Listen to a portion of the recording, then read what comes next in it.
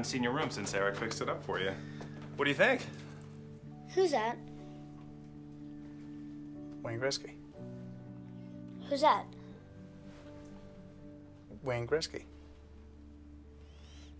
I'd like to go to bed now. Okay, you don't need anything from your um, from your bags downstairs.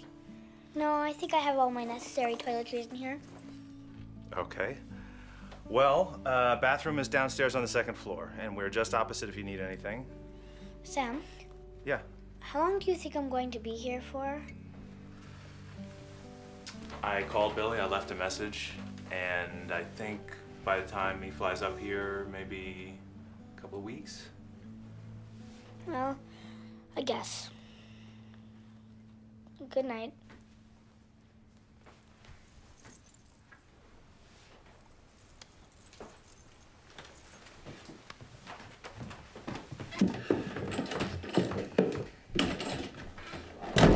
What's gardenia? It's a kind of flower. What's you doing with hand cream?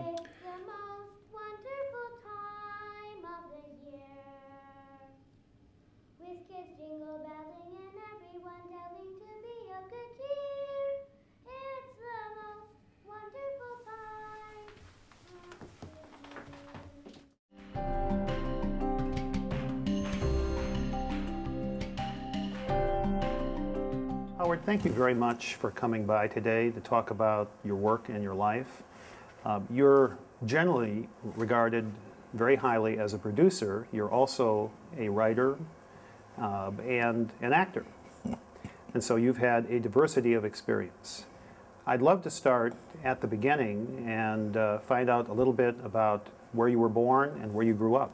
I was born in Brooklyn, New York, and I lived there until I was six, and then Far Rockaway, Long Island, New York, and uh, lived there until I was around uh, 19, and then I went to medical school in Philadelphia, and then uh, I left medical school when I was 21, moved to New York City, Manhattan.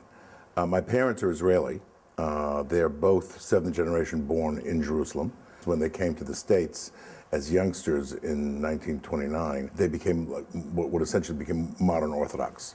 So I was brought up and went to yeshivas.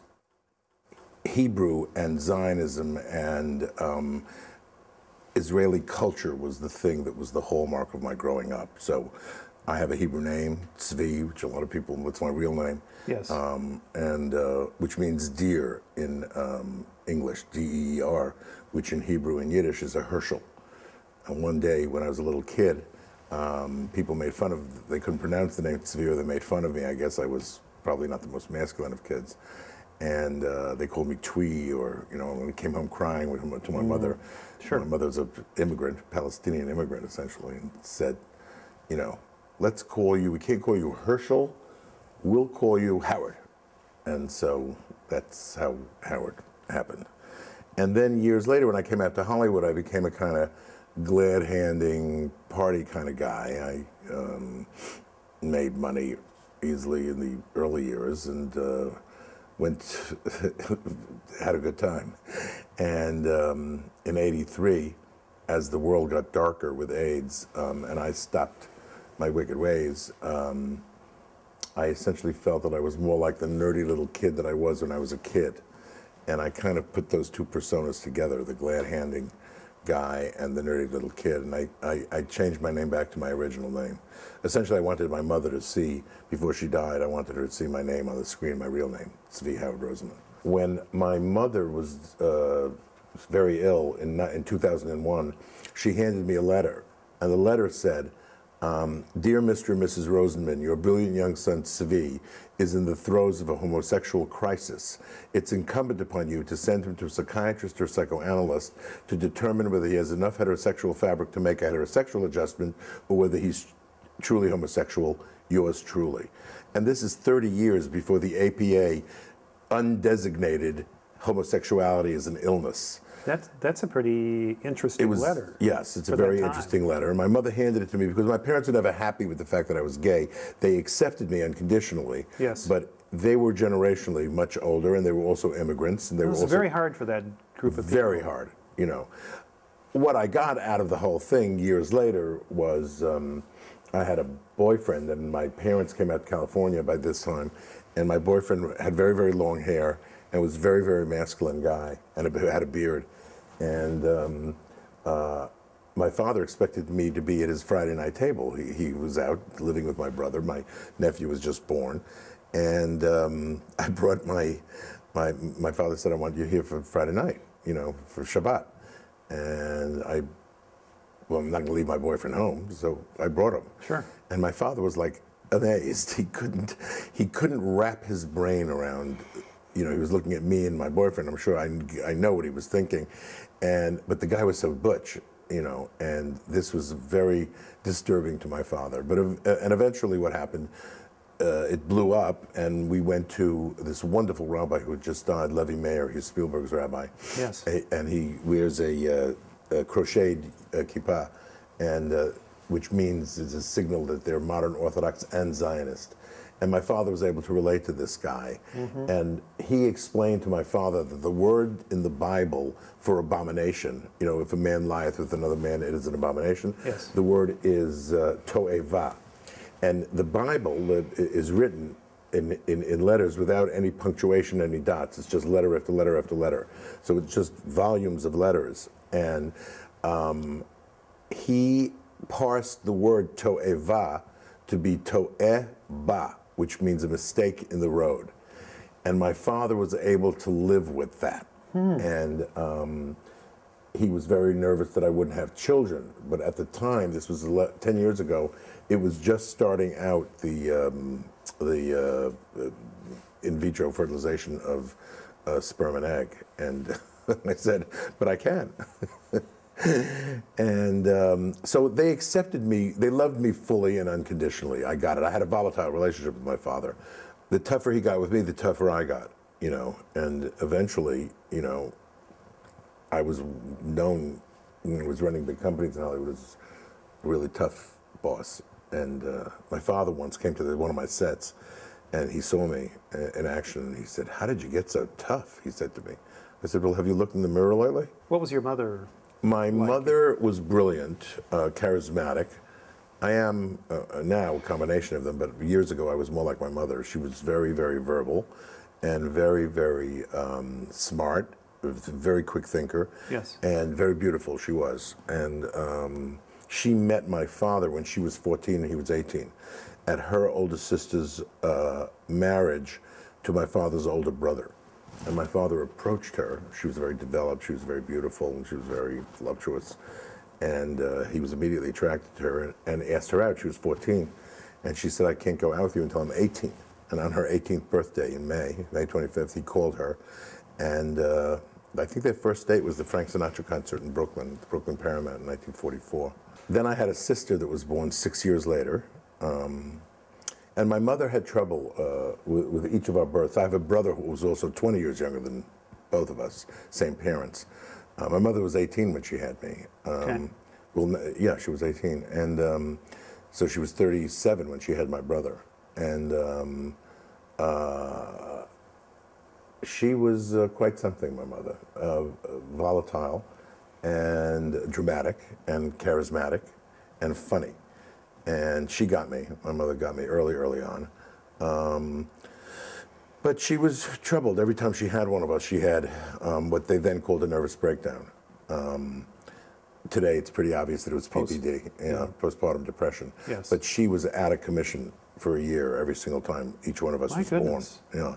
Yeah. And that's why I remember my father took over the role of my mother when I was an infant. And my grandmother took care of me too, who was uh, an austere woman, my father's mother.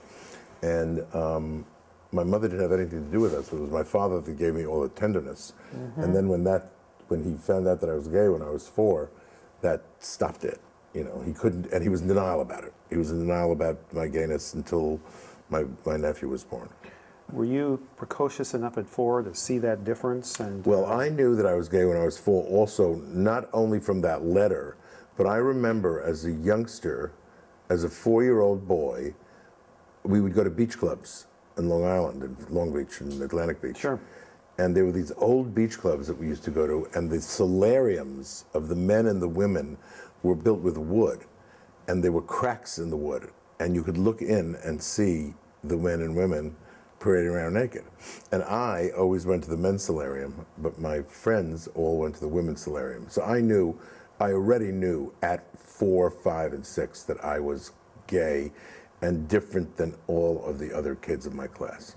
And how did you feel about that? I felt like I was an outsider, you know. Yes. Um, and um, that sense of outsideness, you always have it, you know. Yes. So you always empathize. I always empathize. I, you know, I, when I was a kid growing up, I loved R&B, and every other kid in my class loved rock and roll. But I wanted to hear Stevie Wonder and Sam and Dave and Sure. you know Otis Redding and you know all of that. And um, I was an anomalous little curly-haired Jewish boy in Long Island who loved black music, and it was like, what is wrong with this picture? My father couldn't understand it for the life of him. You see that throughout your career because some of the movies you've done and your, Yeah. your taste in different things. You know, black music, R&B specifically, is music of the church. It's music of, it's the music of uh, joy and the lyrics of oppression.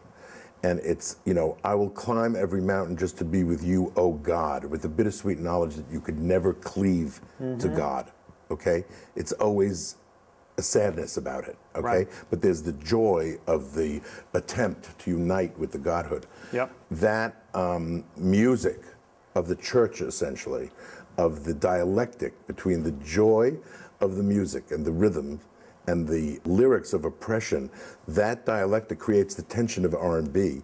Black female singers personify that to me.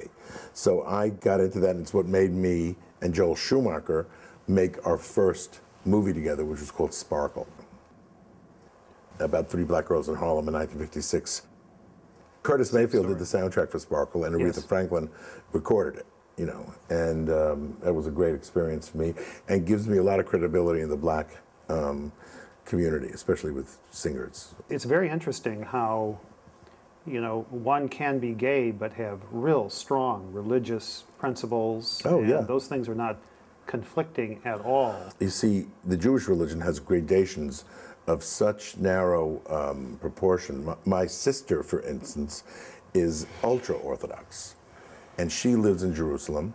And all my nephews wear black hats and black clothes. They're called blacks, black hats, and they have side curls. They don't watch television. They don't go to the movies. They hardly read the newspapers or magazines. They're very, very sheltered from it, and they live a life that's quite um, xenophobic and narrow. Although they're very happy.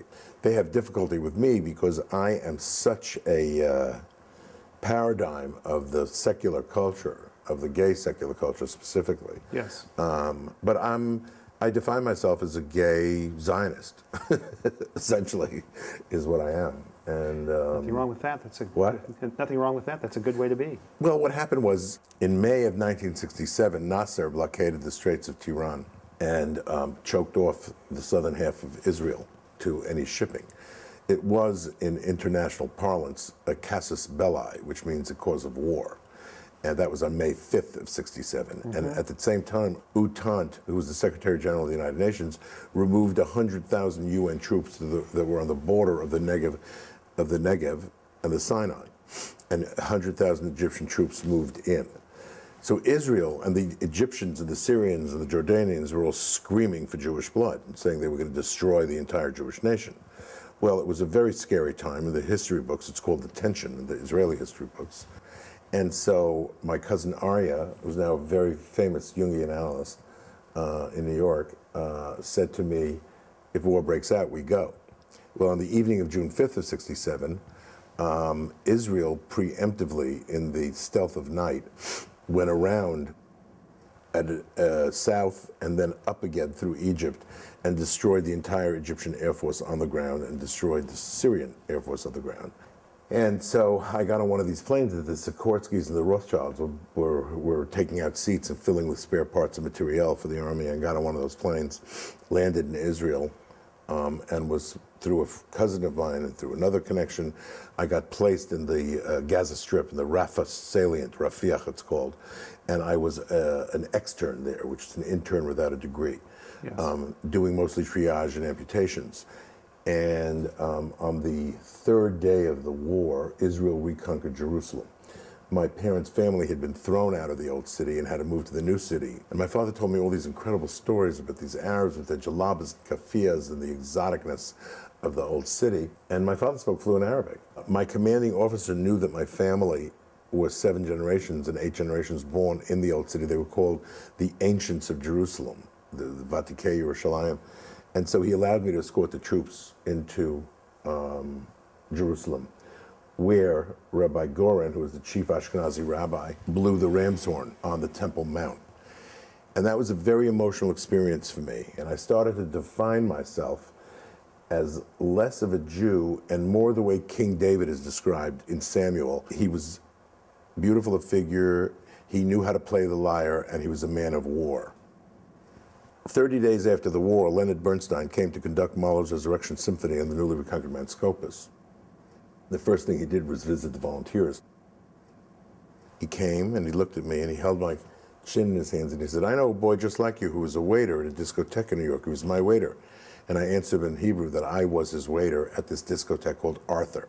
He kissed me on the lips and invited me to the concert my parents um, had come in from uh, uh, America ready to pay many thousands of dollars a ticket and couldn't get tickets, and I marched into the King David Hotel with four tickets. Where'd you get those tickets? My mother said to me.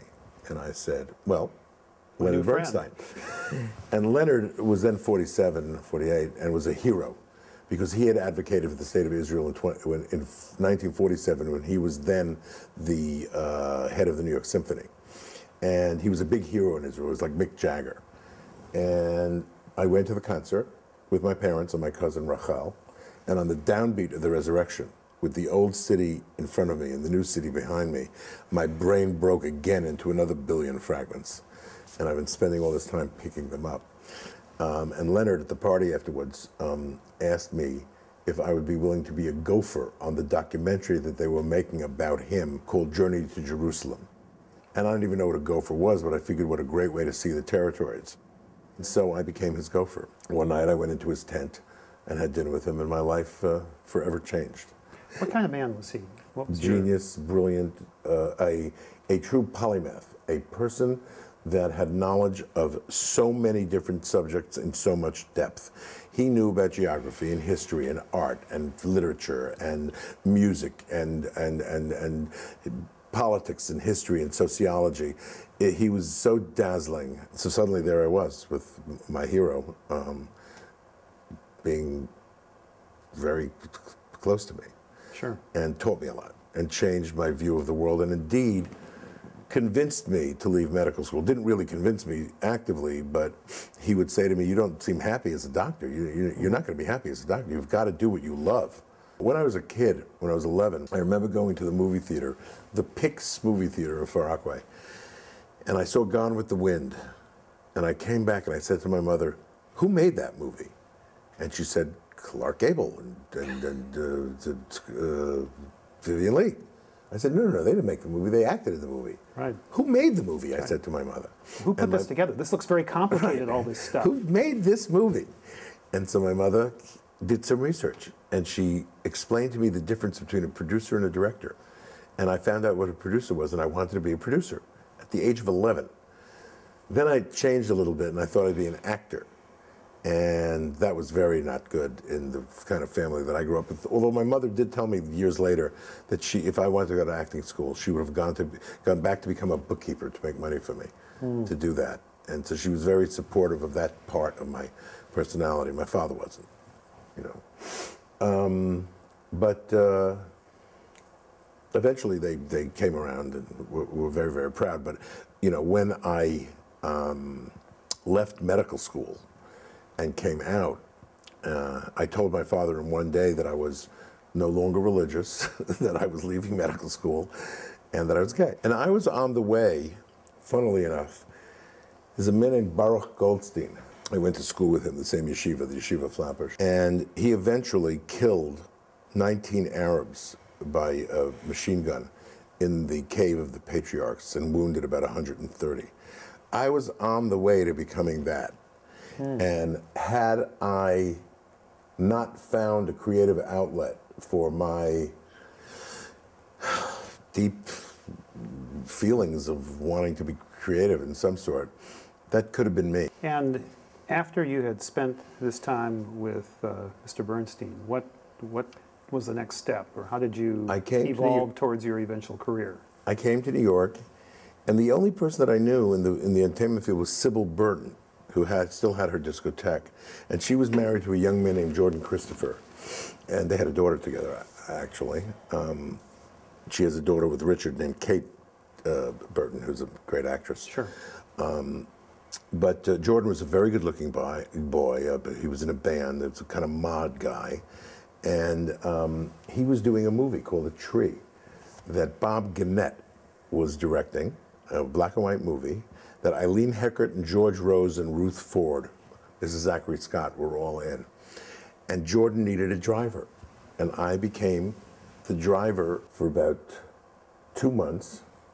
Then I sold ties at Bloomingdale's. And then, through a friend of mine in New York, he, uh, he introduced me to a man named Michael Benthall, who was the head of Britain's National Theater. And I became Mr. Benthall's assistant. Then he introduced me to Miss Katharine Hepburn, and he was going to direct Coco. And he, by this time, had said, "Why don't you become Miss Katharine's assistant, and I will hire another assistant. And then you can have you can see what it's like to work for a major star." And I became um, Miss Hepburn's assistant, and I did that for a year. Worked on Broadway And what was that like? because you have to understand New York in 1968 was burgeoning, just exploding with creative energy. Gay people were just about feeling their oats, although there wasn't equality. And when you went dancing, there was a man on a ladder, and the only way you could dance together with another man was if there was a girl at the center and there were men ringing her, and you could all dance together if two bodies got too close, there was the man on the ladder who beamed a flashlight at you. And if he beamed the flashlight at you three times, he would call the police. It's what provoked Stonewall, because in 69, at the Stonewall bar, this happened. And so there was this feeling of, oh my God, you know, the, the, the pride of it, the uh, intensity of it. And New York was changing because the social structure in New York was then collapsing.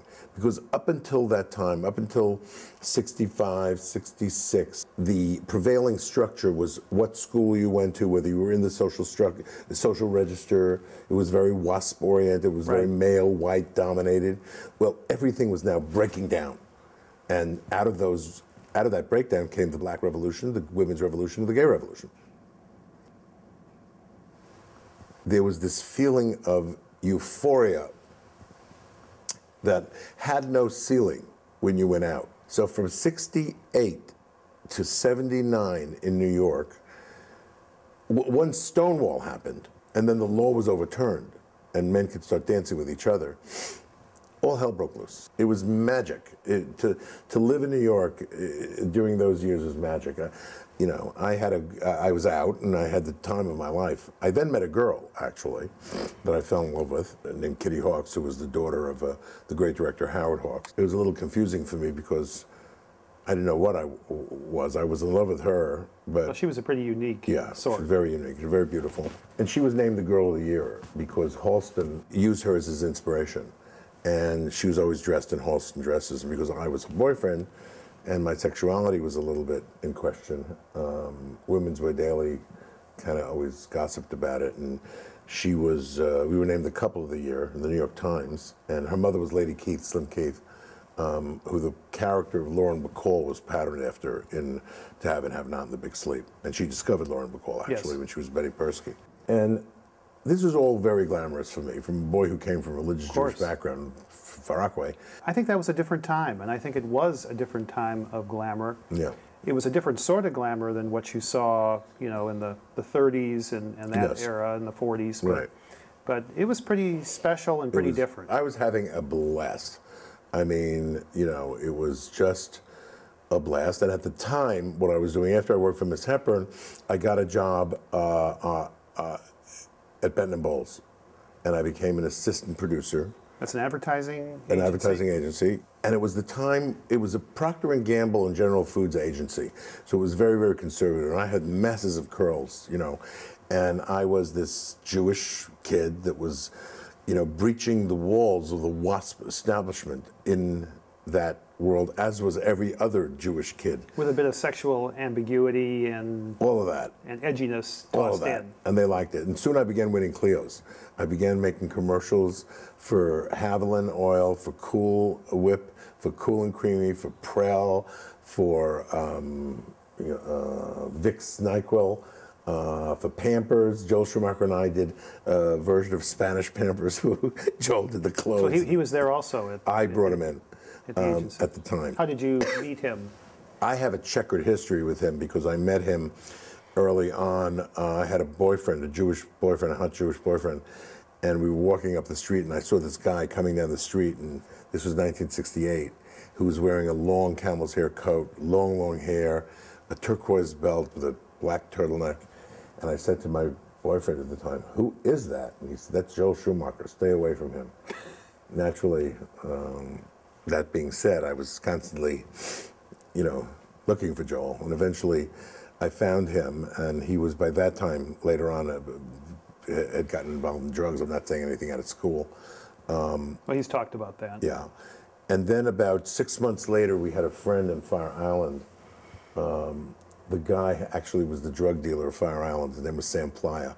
And he had the hots for me. And I, he said to me, I want you to meet this guy. He wants to make movies just like you do. And he invited me to the house for brunch.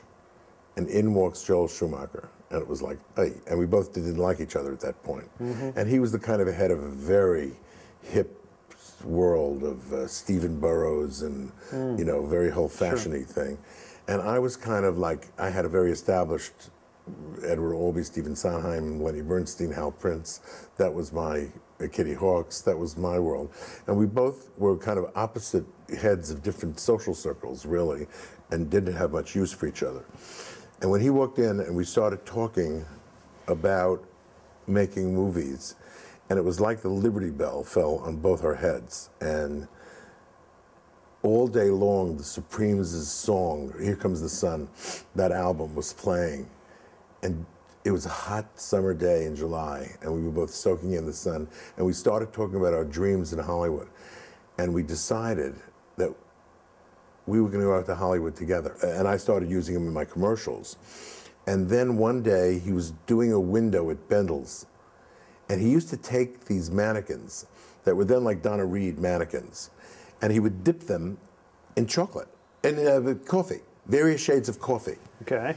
And they came out as these multi-culti, multi-ethnic. This is 1968, 69 you're talking about. This was before Benetton. And Joel, he would twist these mannequins into these various shapes and put dresses on them, red dresses. And one day, and they used to be like events that he would do on Monday night. Every all the whole fashion world would come down to Yes. watch Joel do these windows. And there was a sequin on the floor. And I picked up the sequin. Joel just reminded me of the story the other day. I picked up the sequin off the floor and I said, This is the movie that we're going to make. Look. And it sparkled. And I said, We're going to make a movie called Sparkle about three black girls in red dresses. That's what we're doing, and you're going to write it. and eventually, I met a man named Tommy Nutter, who was a designer of dresses and uh, coats. He, he designed piping on these jackets, and Mick Jagger and Bianca Jagger wore them. And I don't know, I picked them up in some club somewhere and woke up. The next thing I knew, I woke up in this house at 135 Central Park West. And I was so drunk, I told Tommy the story of Sparkle. Well, little did I know that he was, his former lover was Peter Brown, who now represents the Crown of England, I might add, and Andrew Lloyd Webber. Tommy Nutter told the story to Peter Brown, and Peter Brown said, This is lovely. We must make this movie. And he gave us money, and we got a writer to write the, the script, Lonnie Elder, who had just written Sounder. Then the script came in, it was terrible, and I was still doing commercials. And then I went out to Hollywood. Oh, God, this is bringing back so much for me. My girlfriend, Kitty Hawks, was working for a man named Ron Bernstein. And Ron was working for Danny Melnick at David Susskind's. Kitty was his reader. And she brought back a manuscript one day uh, about a killer shark off the coast of Long Island. It was called Great White. Now, I had met Barry Diller, and Barry was had just invented the movie of the week, and um, we got pretty friendly. And he said to me once, "The greatest thing I teach all my students this uh, when I teach." Um, because he understood the nexus of friendship and exploitation in the movie business. And he said to me, You know, you're really smart. He said, I really need a good friend on the East Coast who knows a lot, uh, you know, about what's going on, you know, because he was traveling back and forth to the um, West Coast and East Coast. Uh, he was based out here. And he said, You know something, do me a favor. Don't ask me for anything. Don't ask me for any favors. When the time comes and you think you're ready, ask me for one thing, and I will do it. And then don't ask me for anything ever again. Five years went by. Kitty is now working for Ron Bernstein. I read the manuscript and I said, This is it. And by this time, Barry was the head of the network. I call up Barry and I say, The one favor. I read a manuscript. It's called Great White. It's about a killer shark off the coast of Long Island. I've got to make this movie. And he says, Come out, and I'll introduce you to my 90, the head of my 90s. He introduced me to Deanne Barkley, who had invented the careers of Steven Spielberg by giving him Duel, by giving Michael Crichton his first movie. And eventually she gave me and Joel our first movies. But she got all excited about it. We were going to take the outtakes from Blue Water White Death, uh, that Peter Gimbel had made, a documentary. But when I went to buy the, to, to, to, to, to, to, to try to buy the material, at the time, the 90s, the license fee was $425,000. And they would buy it for a two run license fee, and then the production company had to pay the deficits. But they were paying $10,000 for basic material and $10,000 for a screenplay. And so when I went to make the offer to Roberta Pryor at ICM, I'll never forget this, at IFA, um, she said, Well, we're looking for more than that. And then I went to the head of his 90s. And the head of his 90s, the head of his two hour motion picture, the head of his two hour, they were paying $75,000 for basic material and $75,000 for screenplay. And I said, Oh my God, it's a $150,000 offer. You got to take this. She said, We were looking for even more than that. Well, within two days, it was sold to Zanuck and Brown for 400, then unheard of price of $400,000, and it became Jaws. It was Spielberg's first movie. And it was announced in the trades, and Mr. Diller called me up and said, "You obviously know what the fuck you're doing. Excuse me, um, you know, you, you know, take any piece of shit, come out here, and I'm going to make it." And eventually, I teamed up with Ron Bernstein, and we brought a television movie that was called Isn't It Shocking? about a man that goes around killing people with an electrocardiograph machine. Yes. But we cast it very high end. Ruth Gordon, um, Will Geer, Alan Alda, Louise Lasser. Um, it was a great cast. And Deanne Barkley made the movie, and I made the movie for the network.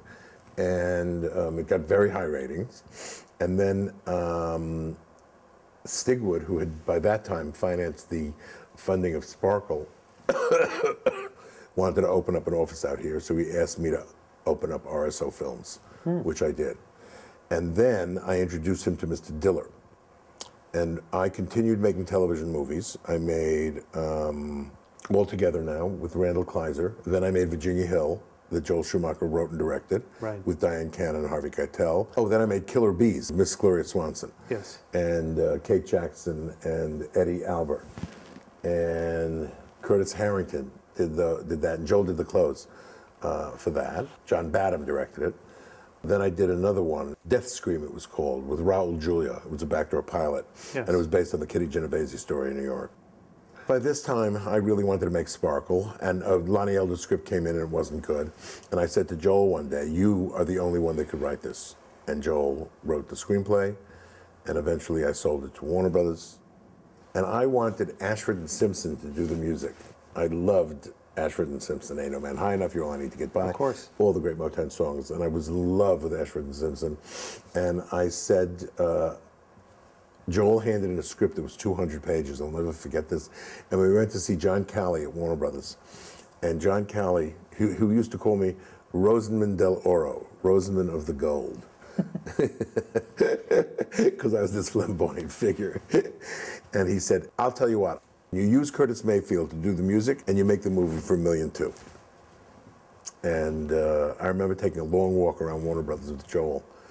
And um, I loved Ashford and Simpson so much I couldn't give it up. And Joel said, You idiot, don't you understand you can get a movie made with Curtis Mayfield? Curtis Mayfield is our Barbra Streisand. And eventually that's what happened. Curtis Mayfield did the soundtrack, Aretha did the uh, recording, Irene Cara, Philip Michael Thomas, Lonette McKee, all their first times. How did you feel about the movie when you were done with it? Joel's original conception was like, uh, you know, this, this dynastic family situation. And we were thinking of a big, big movie.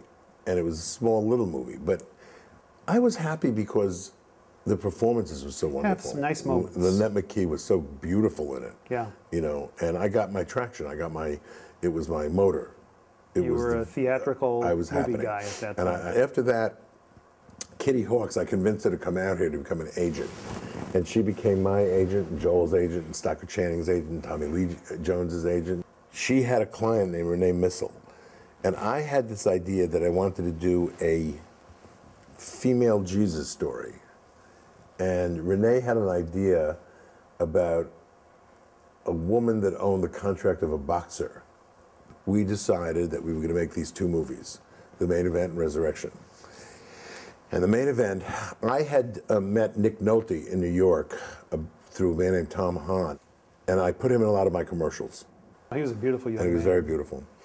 And what had happened was that during the time, the interim time, he became a television star because he was in Rich Man, Poor Man Right. with Susie Blakely. And I remember saying to myself, ah, the main event, we'll do it with Nick Nolte and Susie Blakely. And we attached them, okay? And we got a deal. Kitty got us a deal at MGM. Sherry Lansing was the development girl. Eventually, I was going to do it with Diana Ross and Ryan O'Neal. And then eventually, Michael Black was was working with Sue Mengers at I, ICM, and he strategized the whole thing. And he knew that Barbra Streisand had to be in principal photography by September 1st, 1978. Uh, First Artist was a company that was owned by Barbra Streisand, uh, Paul Newman, Dustin Hoffman, Sidney Poitier, and Steve McQueen. They each had to do five movies for First Artists. If she wasn't in principal photography by September 1st, 1978, Warner Brothers could have handed her any script and she would have had to have done it. And so I knew this information, and Sue had just signed Diana Ross. And I gave the script to Sue, Sue Mengers, the great agent. Sure. I gave the script to Sue as per Michael Black's instructions. I gave the script to Sue for her to read for Diana and Ryan. And Sue, brilliant agent that she was, said, This would be perfect for Miss Streisand. She said, How would you like your name above lights? Howard Rosenman presents Barbra Streisand in the main event. Eventually it happened, and it wasn't quite the dream that I thought it would be, but um, uh, it got me started really in the big time motion picture business. And Well, uh, that picture was a big deal. the picture was a very big deal, and it made a lot of money Yeah. um, keeps on paying me every time. Every time I get into trouble financially, so my business manager calls me up and says, "Oh my God, the the Barbra, the gift that keeps on giving." I get like you know money from Zimbabwe or from Zambia or from God knows where. Perfect. It's perfect. Now, how, how was the making of that picture? How was that experience? I was young and, and uh, headstrong, and I didn't really understand the ways of Hollywood. Barbra was the biggest star in the world, okay? And I felt that this was our idea. And, She was a bit of an interloper coming well, your idea. but, the, but, but the, the reality is, is that I should have known better and stepped aside. I would have gotten my credit, I would have gotten my Sure. thing. But at one time, John Peters and she, they were very arrogant about how they were handling the whole thing, and they Oh, yes. wanted to have. th- They tried to have our price at the last minute, and Mm. I turned the tables on them, and doubled our price, and um, because I owned the material, and they were already paying out money to Ryan O'Neal and to Howard Zieff, the director who just died. They just didn't want me around naturally, and I should have accepted it with grace. I didn't. at the time. I was angry and I was, you You know, but you're, you were dealing with some pretty strong Oh, people, yeah. and you would have been steamrolled. when a movie like that is made, I had to get it in turnaround from MGM, which is a whole other story, um, which Sue Mengers taught me how to do. I alienated the man who was running MGM, Dick Shepherd, because she told me two facts about his life that his name was really Shepatinsky, and he and his wife slept in separate bedrooms. And I remember saying, I want my movie back. I don't want you to make it. You're a man that's ashamed of being Jewish, and you and your wife sleep in separate bedrooms. You're a fucking artificial person. I want my movie back. And he was so angry at me that he gave it back. Meanwhile, I set it up at Warner Brothers the next day with Barbra Streisand headlining it, and he got fired. Not soon after. But then they were try- there were so many companies involved. There was MGM, there was First Artists, there was Warner Brothers, there was J- uh, the JPO, John Peters Organization, there was Barwood, Barbra Streisand's company, there was Rosenman Missel, and so they had to sign the instruments of transfer, and there were all these lawyers around the table, okay, and my lawyer Norman Garey, may he rest in peace, calls me up and says, "Well." they're gonna. My deal at the time, Renee and I's deal at the time was four hundred thousand dollars and five points. And Barbra wanted to have the right, or the Barbra's company wanted to have the right to put our name anywhere she wanted. Well, first that was the big fight. I wouldn't permit that. Okay. Then the second thing that happened was they wanted to cut our price in half. Mm-hmm. And I, my lawyer got on the phone and said, I said, can they do this? And he said, yeah, they can do anything they want. You know, they haven't signed the papers yet. You know, and and It's a negotiation at this yeah. point. I said, but we negotiated the deal. He said, it's just too bad. They know your situation. They know you don't have money to fight this. I said, mm-hmm. really? Is that so? They know that. I said, will you tell John Peters to take that phone and shove it up his fucking ass? I said, okay? You tell them that in front of the assembled. He said, I can't say that. I said, I want you to tell, I want to hear you say that to that motherfucker. I want to hear you say that. John Peters gets on the phone. He says, You cocksucker. He says, You are crazy. He said, The only other person that produced a Barbra Streisand movie other than myself is Ray Stark. You'd be the only person in the world who'd have his name on a Barbra Streisand picture. You're nuts. You belong in Camarillo, he says to me. I said, When you can pronounce the word Camarillo correctly, I'll have a conversation with you. I said, You graduated the Valley School of Hair Design, and I graduated college magna cum laude. I said, Let me tell you something. You have taken my movie, your greedy venal girlfriend, you've made my movie hot. Okay? I can now go to Jill Clayburgh, to Diane Keaton, to Diana Ross, and make my movie because you, my dear, have spent a million dollars for Ryan O'Neal and $25,000 for Howard Zieff, and I own the material. For a movie you don't own. So fuck you. At the close of business today, I'm going to get from you $50,000 in cash. Okay, our new price is $600,000, and we're getting seven and a half points. Bye bye now. That's what happened. Close of business today. Needless to say, I was not on the set right. you know and it was a tough thing i you know now i'm much older i see things differently you know I, i've been in that situation a lot now for ideas that i've invented well when a big movie star comes and does it it becomes theirs and you have to learn how to say goodbye to it Well, then you did Resurrection. then i did resurrection with ellen Tell, tell me about that and that experience. Well, that was a tremendous labor of love because um, I had been in Jerusalem to visit my parents. My parents moved back to Israel with my baby brother, and um, who was five, and I went to visit them every year, Christmas. This particular year, I was on the Via Dolorosa, which is the Street of Tears. It's where Jesus Sure. walked with the cross on his back, and the state there were 13, 11 or 13 stations of the cross. It was a Christmas morning. There weren't many people in the old city. I was on the Via Dolorosa, and it was had this gray, crystalline day, a Jerusalem winter day. And um, I looked down at, like I was, I, I, think either I was at Veronica's Vale, I don't know which station I was at, but uh, either six or seven. And I looked down at station eight, and I saw this woman with an aura around her. And I said to myself, wow, what if Jesus came back as a woman? And when I went back to America, and Kitty was by now married to Ned Tannen, who was the head of Universal Pictures. And I had introduced them, and um, she would set it up, and I developed that screenplay uh, through several different writers, and eventually we got Lewis John Carlino to write the screenplay, and eventually I got Ellen Burstyn to do it. Ellen Burstyn was the Triple Crown winner that year. She won the Emmy, the Oscar, and the Tony. Ned Tannen, who was the head of the studio, said, said to me, if you get Ellen Burstyn, I'll make the movie. You know. And at the time, he didn't want to pay for me and Renee going to uh, Greece. Ellen was filming a movie with Melina Mercouri, uh, Medea, I think it was. And uh, we, uh, through a series of almost cosmic events, Ellen finally agreed to see us. Then all these coincidences happened that were very spiritual, which the movie was about. And um, she eventually agreed to do it, you know. And she uh, was nominated for And she was nominated for an Oscar. And the greatest lesson that I ever learned was on that movie because Ellen and I were very close. Um, we literally rented a house together in Texas and slept in the same bed, you know, platonically. Sure. And um, we were very close. We ate lunch every day on the set together. And then something peculiar happened. On the Thursday night, we were supposed to be out of Texas that Friday night. On the Thursday night before, Ellen says to me, I'd like to see tomorrow's set. I said, okay. Paul Sylbert was the production designer. It was a scene that was set in a bar, Ellen Burstyn and Sam Shepard.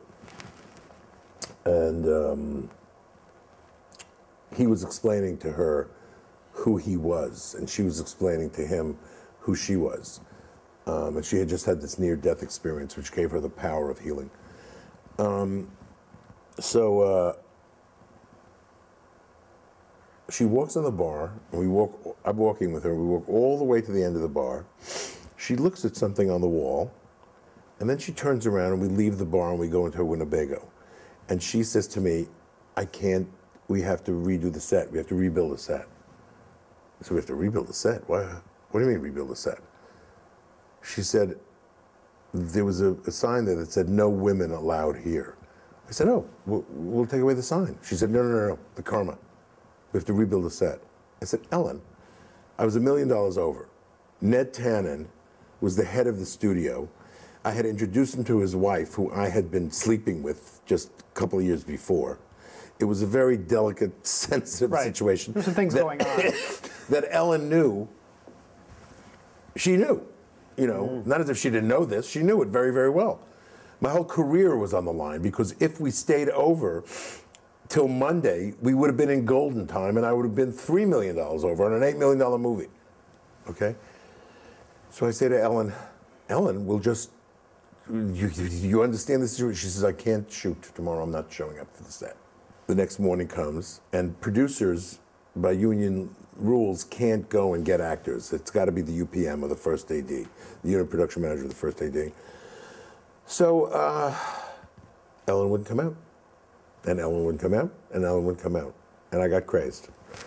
And I climbed on this tree, and I knocked on the window where I saw Ellen, and she closed the window shade. So I took a branch and I broke the window and jumped in and grabbed her by the neck and I said, "You're coming to the set, bitch," you know. and I said, "My whole career is on the fucking line here." I said, "You better come to the set. I'm not dealing with this bullshit." She came to the set. Again, needless to say, I didn't have lunch with Ellen that day. Right. And I figured I lost a friend for life. At the end of the day, she calls me into her Winnebago. She says to me, I have to apologize to you. She says, because if you learned one thing through this whole experience, she says, with the gift comes the other side. Hmm. And I listened to her, and it was so profound what she was saying to me because it was like, well, this is the way you have to treat talent. Yeah. Because with the gift comes the other side. When you have a really creative sort, Right. it comes with all kinds of things. And if you can hold actors and directors and writers in that space of with the gift comes the other side, Yes. and if you can go with it and nurture it and take care of it, you'll be a successful producer or director. After I did Resurrection and the main event made so much money, it was like 1979 in New York.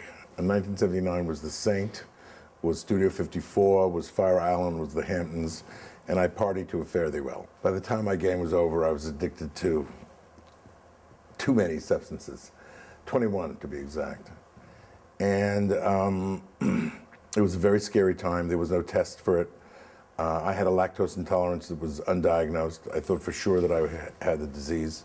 I'm HIV negative, thank God, but I was probably wilder than any of my contemporaries. And So you, by- you, you were very fortunate. I was really fortunate. Not to become I was really fortunate. God was sitting on my shoulder, let me tell you, because I was one wilde chaya, as they say. You were very social. I was very social.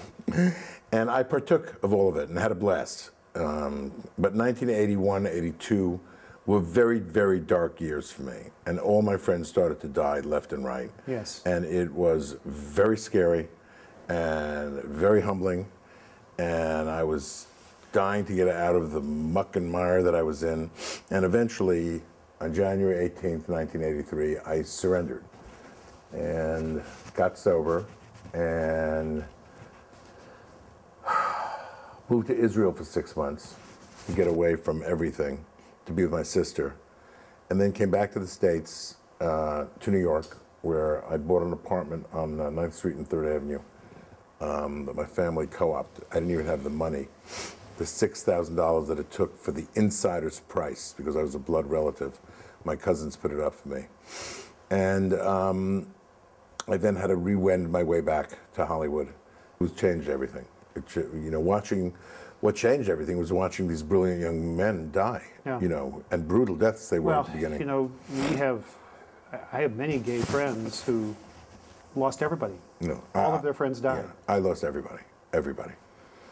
Everybody. I, I can't imagine. Just I have 2,235 friends that died of AIDS, and I di- and I have a list. And if I didn't keep the list, I would forget who they are. sure. And um, You must have gone to a lot of funerals. at- I went through so many funerals and memorial services. It was every day in 1983, 84, 85. It was every How awful. day. It was the worst. And I was frightened to death. And then uh, I decided to come back to Hollywood to do a movie, uh, a movie called uh, Lost Angels, which I did with Hugh Hudson. And that was a Teenage Cuckoo's Nest, which was an idea of mine because I felt that I was put into this one category and nobody was going to let me out of it. And uh, at the time, it was about a middle class kid being put into a mental institution, and he kills the head of the mental institution in order to get out. Donald Sutherland plays the head of the mental institution. Yes. Then David Geffen, uh, who was I was very close to at the time, said to me, "I think you should work for Sandy Gallin. He has a company with Dolly Parton. It's not doing well. You know, you can benefit from this, and he could benefit from you." And David put us together, and I went to work at Sandollar to co-head Now, it. was Sandy an agent or a Sandy is a manager? manager. He's a manager. You have to understand that managers had a lot of leverage. I always worked for managers. Stigwood was a manager, Sandy was a manager, Brillstein Grey was a manager, because what they have, they have a lot of clients. In Sandy's case, he had Michael Jackson, Neil Diamond, Dolly Parton, and at one point Richie Pryor, at one point Whoopi Goldberg. He had the Pointer Sisters. You did a picture about that time called Tidy Endings. Mm-hmm. It was for HBO. Harvey Fierstein wrote a play on Broadway that was in three acts called Safe Sex. And the third act was called Tidy Endings. And Tidy Endings was about a man that has just lost his lover. The lover had been married previously to a woman played by Stockard Channing. Harvey Fierstein plays the lover. And the Stockard Channing and the dead lover have this 10 year old child. And the point of the movie is who is the real widow? Is it Stockard or is it Harvey Fierstein? Mm-hmm. We sold it to Colin Callender at HBO, and it was the first thing that I did in my new incarnation. It's a very touching piece. Yeah, they won, really won Emmys and Ace Awards and Cable Ace They won Awards. some and, Ace Awards, yeah, you know, four and- in all, and I- including for her. I was very proud of that. That was a case again where you was very patrician. He comes from the Balfour family, Lord Balfour, who actually created the document which made the modern state of Israel. And I was this kid from the streets of Brooklyn, and we didn't get along at all. And I didn't like him, and he didn't like me. And eventually he said to me, you know, this is my baby now. You know, and again, I'm, I was being co-opted of my own material, and I was freaking out.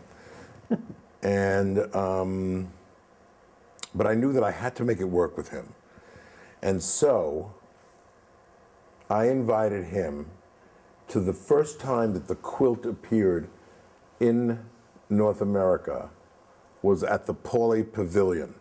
It was the size of a basketball court. That's how big the quilt was. And I was laying down four panels for my best friends. And it was a ritual. It was very beautiful. You see it at the beginning of the quilt movie. Yes. And so I said, the only way that he's going to respect me is if he sees me in a vulnerable position. And I went through the ritual and I laid down the four panels Peter Lester, Fernando Scarfiotti, Bruce Weintraub.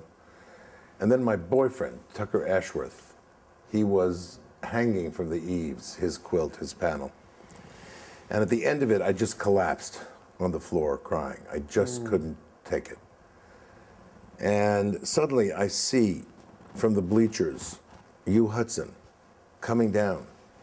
And he comes to me in the middle of the floor at the Pauley Pavilion. He takes me in his hands and he says to me, You've got to put your anger and your grief into something creative. You've got to make a movie about all of this. This mm. is what you've got to do, he says to me. Hmm. And it was like, Whoa, you know. And I'm suddenly looking at him and the bells are ringing. And from that moment and I, Hugh and I became like father and son. We are very, very bonded, okay? And I decided I'm going to make the quilt movie.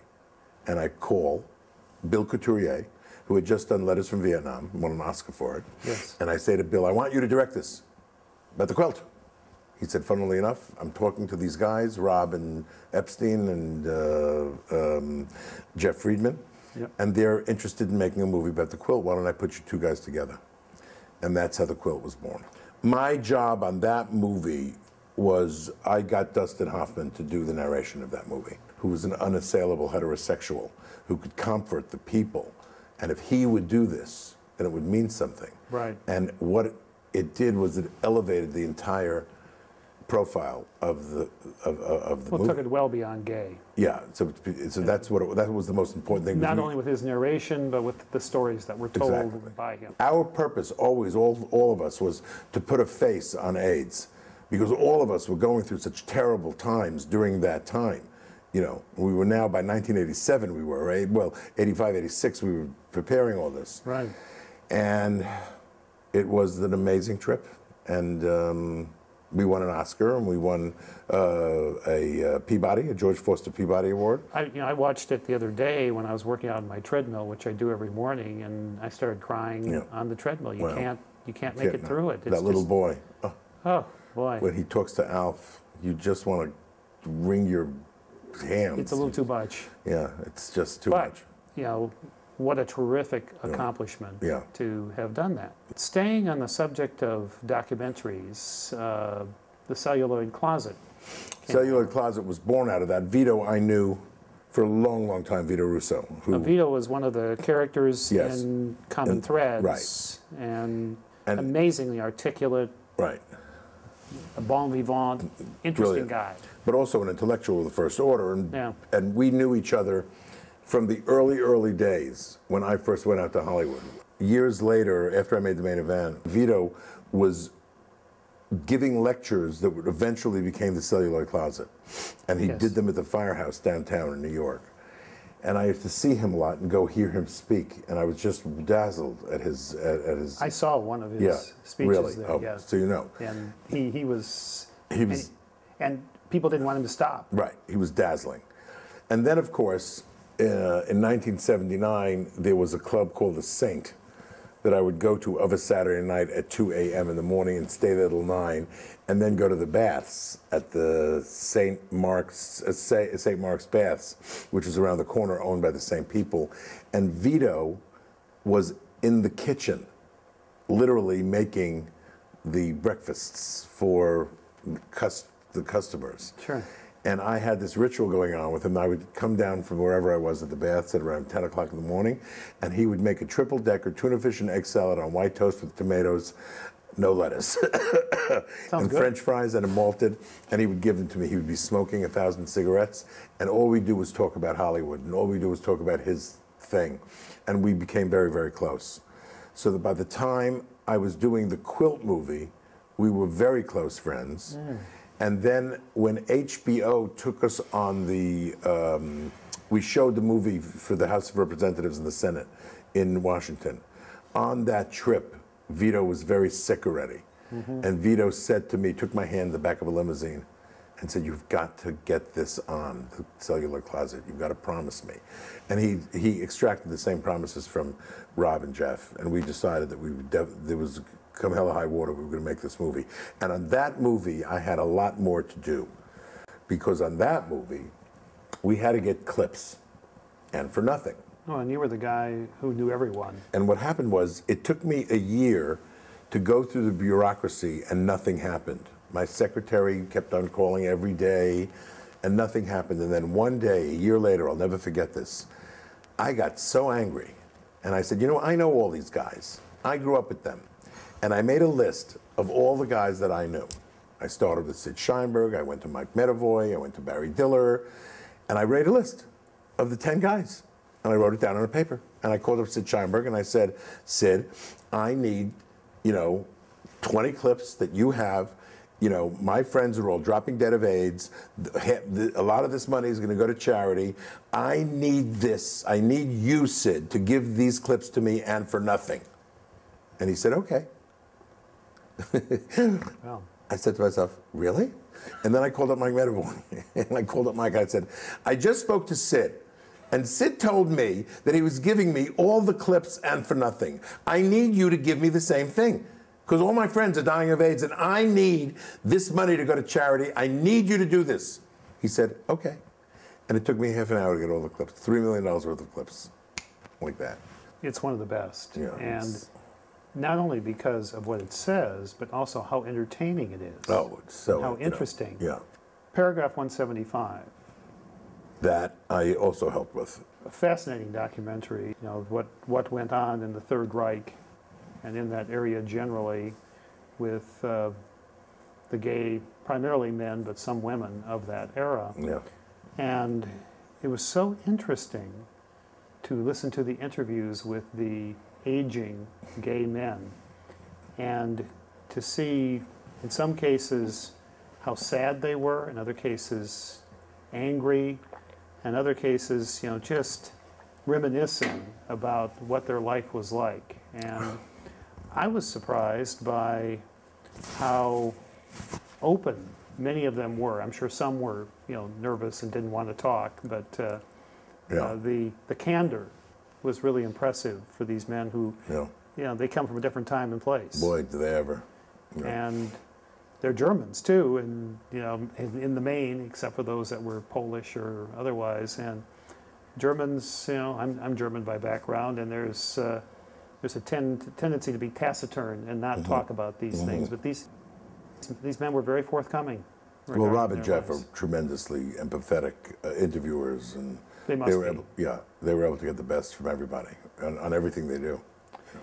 Uh, Howard, you've, you've touched a little bit on some of the uh, what, I, what I call kind of your, your middle theatricals, the movies that were sort of in the uh, uh, early 1990s, and you were incredibly prolific, uh, you know, amazingly so, for particularly given the fact that these are studio pictures trying to make it through development hell, and uh, I'm not sure how you did that. Uh, in, you've got uh, True Identity uh, in 91, Father of the Bride in 91, Shining Through and Straight Talk, A Stranger Among Us, and Buffy the Vampire Slayer, all in that 92, 93 era.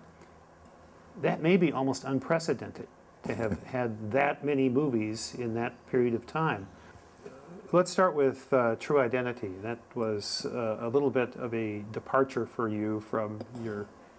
Uh, I, I guess there is no normal Ho- Howard Rosenman picture. You've done so many different types, but what, how did that come about? That was a script uh, that Carol Baum uh, developed at Sandollar that um, I came in and through my relationship with Jeffrey Katzenberg, we were able to get it on. And then uh, one of the my favorite picture is in your group, Father of the Bride. I was obsessed with Elizabeth Taylor as a child. I was obsessed by her beauty. And uh, in fact, I went to the Reader's Guide to Periodical Literature in the New York Public Library, and under Elizabeth, under Taylor Elizabeth, cut out every single picture of every single magazine that ever was and pasted it on my walls on Far Rockaway.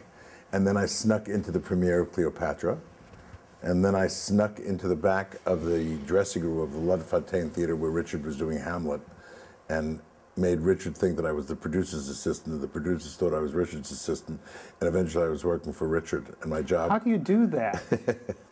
you have to have a lot of chutzpah. Yeah, I, I, I would never be able to do that. I couldn't do it now. I, I would be too respectful of these. I couldn't do it now, but I was so desperate to Elizabeth was so beautiful and so gorgeous and I so wanted to be part of it. Yes. And eventually I became friendly with them. And um, Elizabeth years later helped me fund Project Angel Food. Um, and she helped me fund the Elizabeth Taylor Green Room, a project uh, that I uh, built at uh, Cedar Sinai for Would you mind segueing and talking about those two projects? I, th- those are The Elizabeth Taylor Green Room came out of my association with LifeSpring, where you learn about commitment and time and um, how to give back and uh, teamwork. And um, at the time, LifeSpring was only doing projects that were devoted to homeless people. But the AIDS uh, the epidemic was fulminant at that time. And what would happen was that parents would be called from Venezuela or from Rome to find out in one minute that their sons were gay and that they were going to die in the hallways of these hospitals. And there was no place for a doctor to have privacy and a sacredness to tell the parents what the situation was so that they could catch their breath.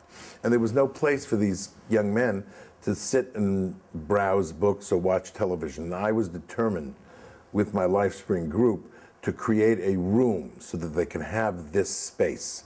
And I called it the Elizabeth Taylor Green Room. And I went to Elizabeth and got the money, and we built the room at Cedar Sinai. Hmm. And then out of that, um, Marianne Williamson, who was then uh, doing an exegesis in the Course of Miracles every Saturday, uh, in 1985, this was, where she was, um, it was called the Handsome Boys Religion, HBR, because there were all these young men that were going to listen to her talk. And she talked in our lingo, in our conversation. She experienced the same things we experienced, and yet she was bringing a spiritual perspective. And uh, she had a, a, a, a- project called the Center for Living, which is essentially holistic stuff for AIDS sufferers. And uh, I went to New York one day and I saw a little charity box that said, God's Love We Deliver. And on the bottom it said Ganga Stone, who was the executive director of it. And I decided to go meet her.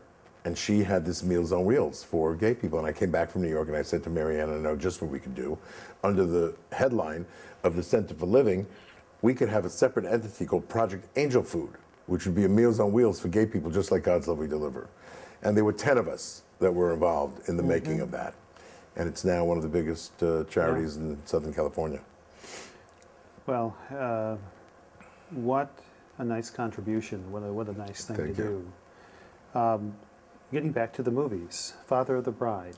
How were you able to put that one together? Cindy Williams came to Carol's office one day and said that she wanted to do a remake of Father of the Bride for Jack Nicholson to star in. Okay. And she called me into the office. Carol knew about my obsession with Elizabeth Taylor. And when she told me this thing, I said, I have got to make an Elizabeth Taylor remake. And eventually, we got TriStar to buy it. Jeff Sagansky bought it for us, and um, or optioned it for us. But at the time, they only optioned the motion picture rights, none of the other rights. Then we got it out of TriStar and got it over to Jeffrey Katzenberg at Disney. But in order to make the deal work, we had to have a check in Ted Turner's hands for $150,000 by the close of business that Friday, or else we would have lost the rights. And the lawyer for the Sandollar at the time said, I can't authorize this. I'm not, I'm not going to do this, you know, Right. because who knows whether we'll be able to sell it. And I took out my checkbook and I wrote a check for $150,000. Now, did you have 150,000? I had minus $150,000 in my I bank see. So, account. so you, you- you were trying to bridge this. I was trying to bridge it. And I wrote that check and I sent it over. And I called Jeffrey and I said, I just sent over a check for $150,000. And he said, Congratulations, you're finally a producer. Yeah. You've got big balls, Rosenman. We're going to cover you. And that's how Father of the Bride happened. And the great other story about Father of the Bride is that uh, James Orr and Jim Cruikshank wrote the first draft. And it was a very masculine draft, um, but they had created this character of Frank, which was brilliant. Yes. And uh, They, they put that into the writing? that was in the writing. Now- yes, exactly. As- Wow. As it was. And then That- Nan- that's an impressive creation. It's an impressive creation. And then Nancy Meyer and Chuck Shyer um, came on board to rewrite it. Jeffrey Katzenberg brought them on. And they wanted to remove the character of Frank. But they wanted Diane Keaton to be in it. At the time, Diane Keaton was box office poison. And I made a deal with them and I said, I'll convince Jeffrey to go with Diane if you keep the character of Frank. You then did two interesting pictures with Melanie Griffith, Yes. Uh, Shining Through and uh, A Stranger Among Us. Right. I loved Something Wild, okay, uh, which is she was the Jonathan Demme movie that she was in. Shining Through, we originally went to Deborah Winger, but Deborah Winger's lawyer at the time wouldn't make a deal with us. And eventually we brought in David Seltzer on to write the screenplay, and then Melanie Griffith. And Michael Douglas, we also were able to get because I think he wanted to work with Melanie Griffith. Now, that is a very traditional Hollywood movie. Very traditional. and you know. um, the kind of thing that you didn't see that much of, although you saw more of it in the 90s than you had seen for the previous two decades, I think. It was very unusual for its time period, and the fact that Dawn allowed us to make it such an old-fashioned movie. A Stranger Among Us, also with Melanie Griffith, and now, now you're dealing with a subject matter that has you have some affinity for, Right. or at least some knowledge of. Right, and it was my idea. Uh, I did it out of, a, out of a respect to my sister, to show her way of life. It was a little more old-fashioned than I wanted it to be. Um, the, the, the, the Hasidic communities that I wanted were a little more evolved, and but Sidney Lumet was very old school, and he wanted it his way. The music, and you know, he got Harnick and Bock to write the music, um, who wrote Fiddler on the Roof. Um, uh, I wanted it to be a little bit more uh, hipper and more modern. In between, you did uh, Straight Talk with Dolly Parton and James Woods. Dolly Yes. Parton was essentially our boss. I mean, she wasn't really, but She is uh, a force of nature, isn't she? she's the best. She's the greatest. It's the reason that I went to work for Sandollar. And she's a doll. She's just a doll. She's just a fabulous woman. Isn't that nice? Yeah, fabulous. Buffy the Vampire Slayer. Yes. That was a script that was brought to me uh, by Chris Harbert at UTA at the time, that Joss Whedon wrote. Um, I fell in love with the writing. Nobody in my company wanted to make it, but I was relentless about it.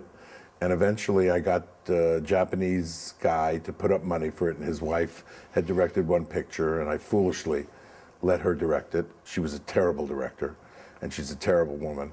And, um, but it was the only way that I could have gotten it off at the time.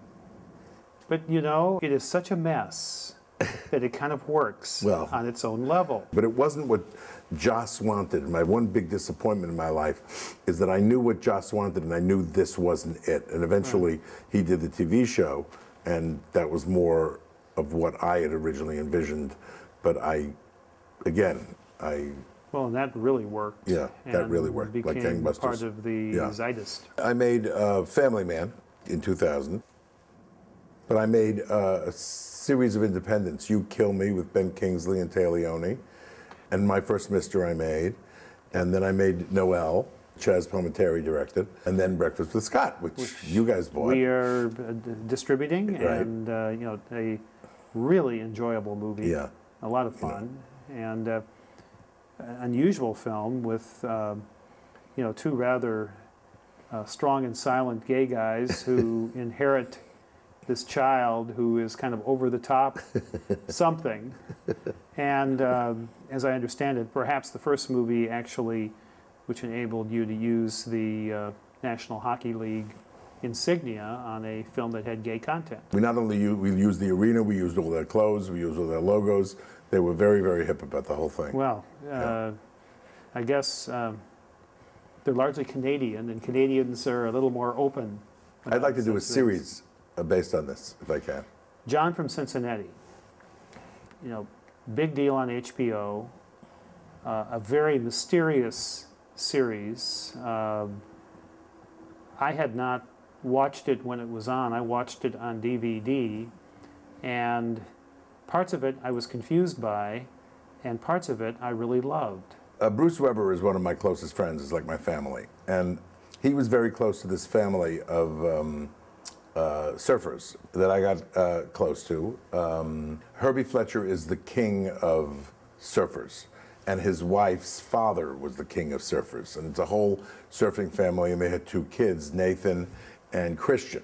Christian Fletcher became the first surfer that like put a 69 in his head and you know was a wild up until that point it was all very very kind of like uh, preppy. But he kind of changed the nature of the medium. And i thought that the family story was interesting. Yep. and i wanted to do essentially six feet under in the world of surfing. I brought the family to ari emanuel at endeavor. He brought them to carolyn uh, strauss at hbo she called me and said, "You want the good news or the bad news?" I said, "Give me the good news first. She said, "David Milch is going to wants to do this." David Milch was the biggest name in television at the time. Sure. And I said, "The bad news: David Milch is going to do this. Uh, he is not going to accept your notes." She said to me. And then she said to me, "He doesn't accept my notes." So what she was saying to me was, again, your baby, you're going to have to walk away from it. Are you willing to do this? You know. Uh, and again, I thought, okay, I'm going to do that. And um, I made a mistake.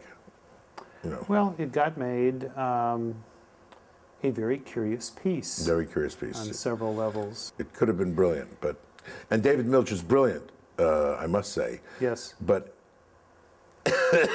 he tried. Listen, this is the nature of creativity.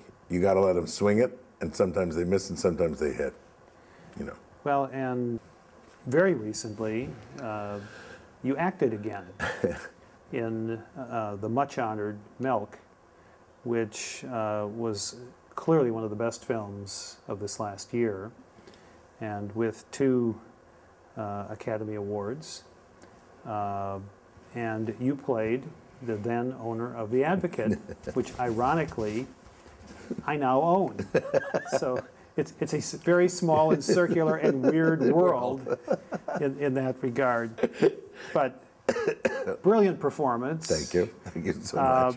and um, you got to act with some uh, really good actors. And um, what, what did you think of the speeches by Dustin Lance Black and by Sean Penn at the Academy Awards? Well, the Dustin Lance Black speech just slayed me. I mean, have you ever seen anybody with such grace and such No.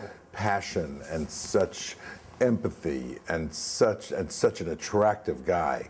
I mean, that that is our role model for young gay people. Can you imagine that? All over the world, a billion people are watching them. A hundred million are gay, and they're watching this gorgeous man, this stunningly beautiful, brilliant guy telling them that it's okay for them to be gay. It's more brilliant than any advertising you can get from anything. It, it was know. it was a historic moment. Oh, uh, gigantic. I, I was there with my daughter, and I, I said you I said to her after that speech, she was in tears, Yeah, I mean, and I said um, that that's history no, it because that that's now been put out there such history. very clearly and so articulately. so articulately and so beautifully said. And then Sean coming in and making that joke. And then Sean Penn, who is an unassailably straight, saying to the world, Shame on you, you people that voted for Proposition 8. Shame on you. Your grandparents are gonna, your grandchildren are gonna, are gonna be ashamed of you. That straight guy, that fabulous man, said that uh, in an admonitory way to the people that, that, that, that are trying to take our rights. You want to love this man, you want to love forever. This is a saint. I don't care what his life is like. I don't care what his politics are like. This is a great guy.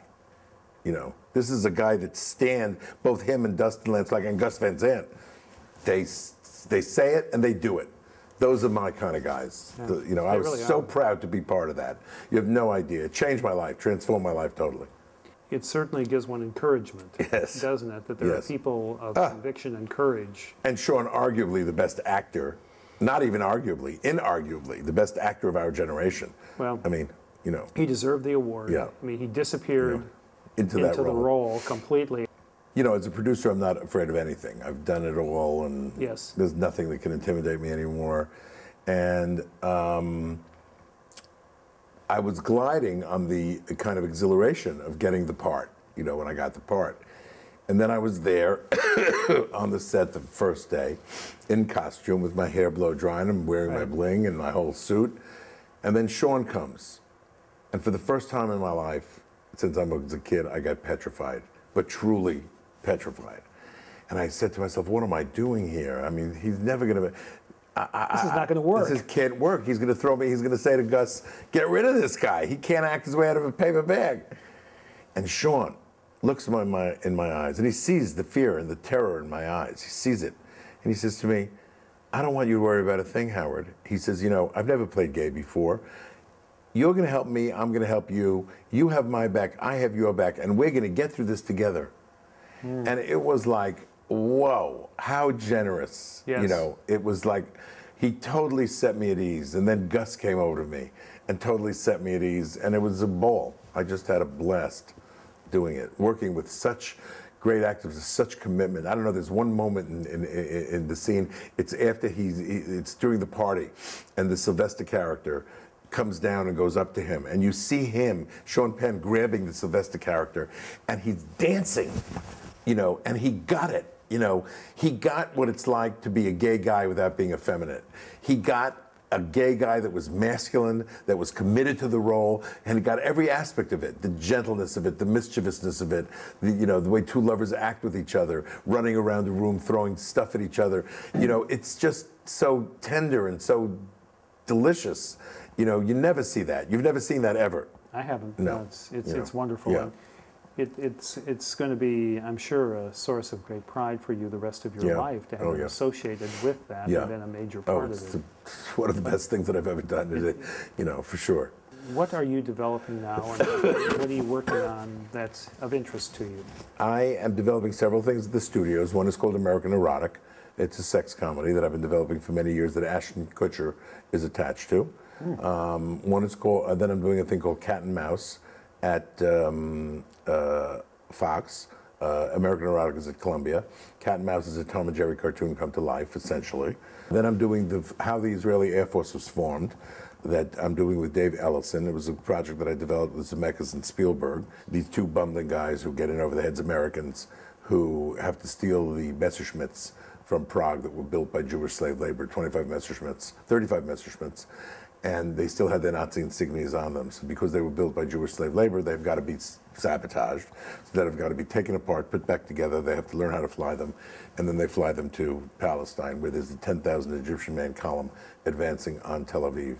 And the last act is an aerial battle between these Messerschmitts with Jewish stars painted over the Nazi insignias, piloted by Americans and Canadians and some Israelis, against these Spitfires that are piloted by Arabs and ex-Nazis.